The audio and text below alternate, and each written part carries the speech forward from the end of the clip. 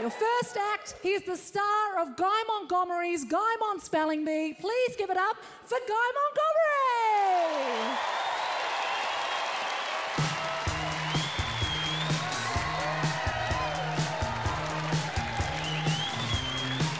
Oh, thank you. I assume you are clapping for my outfit. So I am a stepdad. A lot of people don't know that. I'm a stepdad. I met my uh, stepdaughter Olive when she was two. She is now seven. I've also aged by an increment of five. Um, she's grown up so fast, but she'll never catch me. And it's uh, it's incredible, you know. It's it's not something I knew I was going to become, but I love it. I, I say this with total sincerity. It's probably the single most rewarding part of my life. I think the hardest part about being a step parent is um, finding a family to break up.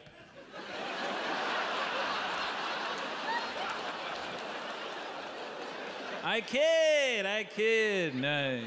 If you find the right family, they will have done it themselves. Uh,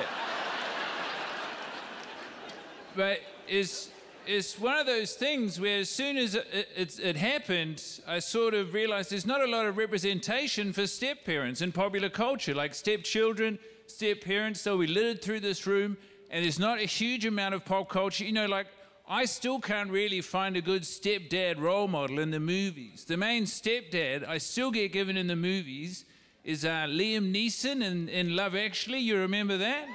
Fantastic stepdad. But I don't know if you saw the sequel to that film, uh, Taken. Uh, even the best take their eye off the ball from time to time.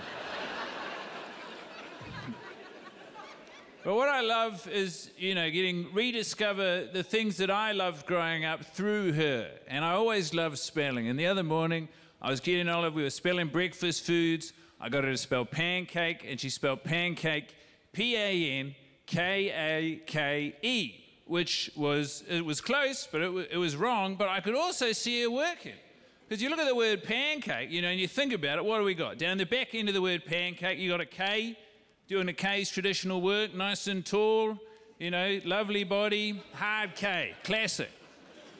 Two letters down the line, we got a C working a double shift. We got a C working a double shift, we've got a K just next door. Doesn't make any sense. You know, why we got the hard C at all?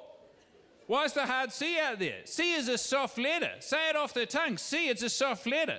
I'm suggesting we abolish the hard C, give all that work to the hard K, just leave C to be soft C. But we've got to be delicate here.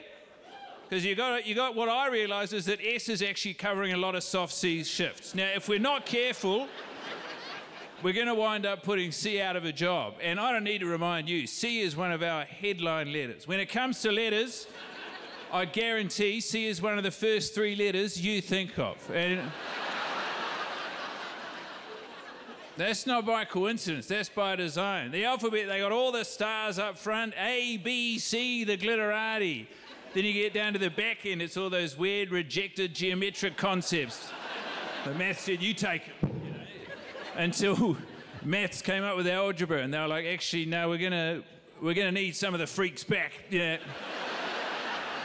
hey, I hope you guys have a wonderful life. I'm Guy Montgomery. I'll see you maybe later.